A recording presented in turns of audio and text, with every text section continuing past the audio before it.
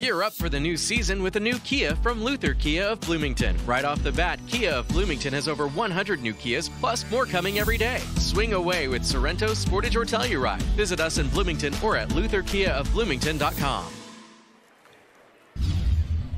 It's time for Twins Final Pitch presented by Luther Kia of Bloomington alongside Tim Laudner. I'm Audra Martin. The Twins were hoping to sweep the Houston Astros for the first time in 10 seasons after a first, you know, exciting first two games on the home opening weekend. Unfortunately, they come up short. A big part of that Hunter Brown for Houston, a impressive young arm, got the best of them. Just two hits for the Twins, one earned run. He was really good today, and you got to give him some credit. A little bit of unfamiliarity with Hunter Brown for the Minnesota Twins offensively offensively. They now have the, uh, him in their book, and so you, you like to think that they're going to be a little bit better next time that they face this young man. But all in all, a really good opening series. Good opening series for the fans. They see a walk-off. Uh, they see a really good ball game yesterday where the Twins uh, explode offensively. Maybe a little bit of a dud today, but a pretty good pitching performance by Tyler Mahle. But offensively, Twins only managing two hits, but two wins – against the world champions uh, that they had zero wins against last year, I'd say it's a pretty good start to the season. Chas McCormick, a huge part of the win for the Houston Astros. Four RBI from him this afternoon, the second such game of his career. So Twins moved to six and three on the season, four and six for the Astros.